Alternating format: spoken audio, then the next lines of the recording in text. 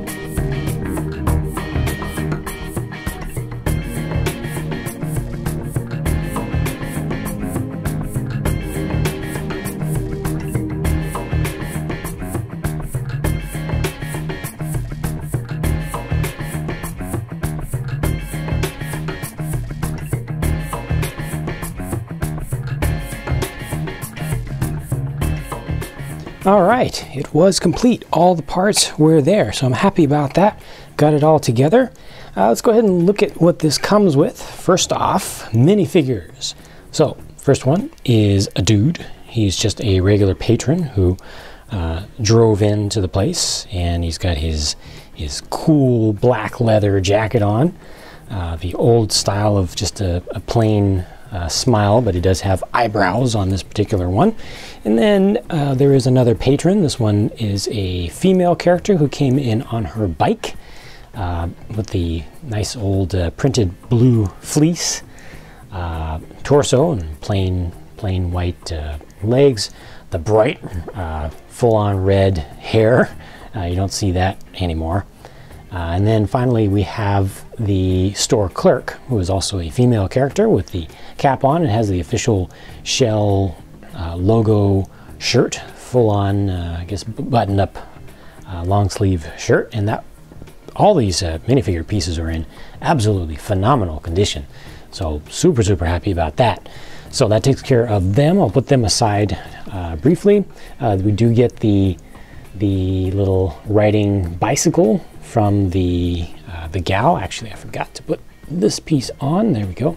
Little uh, reflector headlight has a little little side pouch so you can buy stuff from the store and and place it in there. And I'll go ahead and put her on.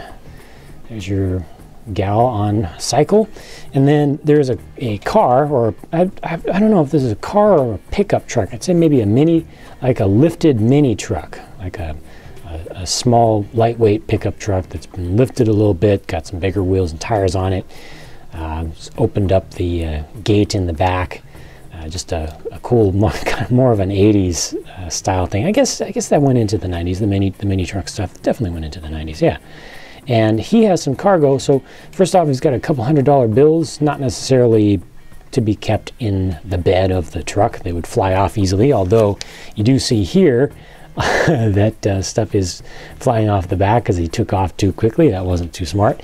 And then he does have also an old dual cassette deck boombox with a fold down antenna. He's got the, the two cassettes. I don't know why there are, oh, those are stop buttons. I was thinking they're record buttons, the red ones, but uh, normally on these tape decks, only one of them would record, but the other one uh, could play, so you could you could you could uh, dub tapes over, copy them, and then you got the nice old school uh, station indicator here.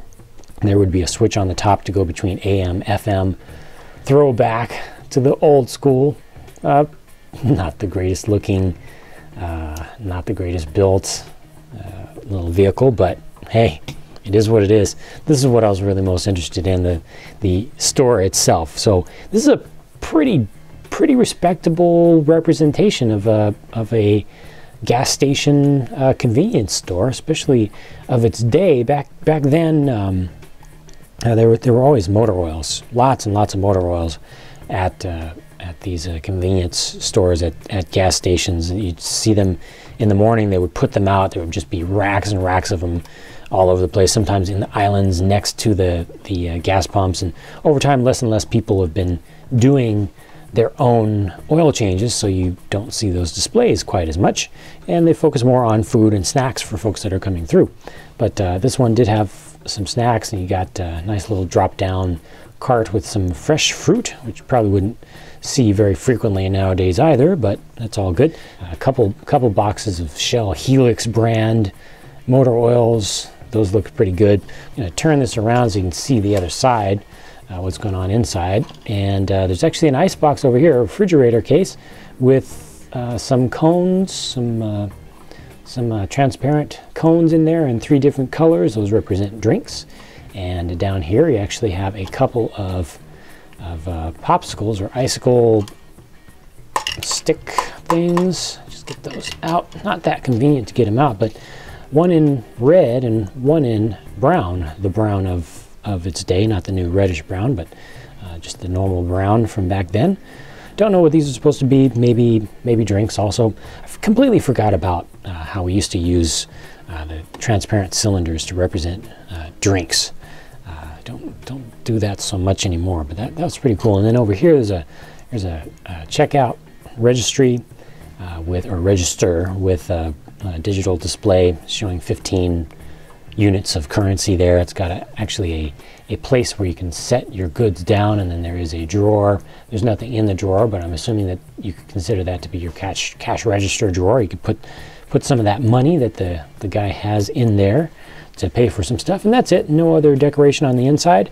Uh, the reason that you can really see in here, uh, without me having to line it up perfectly with the light and stuff, is you've got these nice skylights up here. This is really nice. It, they look good from the outside as as uh, skylights, and they also function well. They do their job of letting more light in, so it lets you see what's going on inside of there, both from the front and the back, and it just makes for uh, a good look. So that takes care of the, oh yeah, you've got some flowers out here and then you got a, a trash can on the side. That's pretty important. Otherwise, folks will litter stuff up. And then there's also a, uh, a map, just a physical map that's just up to help folks who are driving around understand where they are and how to get to the freeway pretty quickly. So this is an exclusive, I believe this was an exclusive uh, uh, sticker.